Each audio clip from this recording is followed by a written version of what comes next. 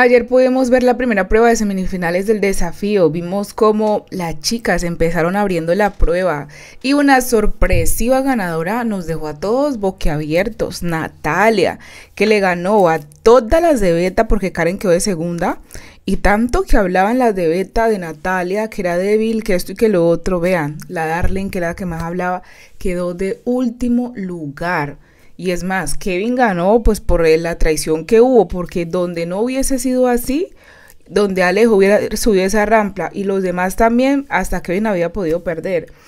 O sea, Darlene le hubiera tocado con otra persona, yo le lo conchille lo que hubiera perdido. Lo cierto es que esta participante despertó muchas críticas por el desempeño que tuvo ayer, ya que muchos dicen que la cojera del tobillo se le sanó milagrosamente. También dicen que todo lo que criticaba y miran, esperaba más de ella. ¿Qué opinan ustedes de esto?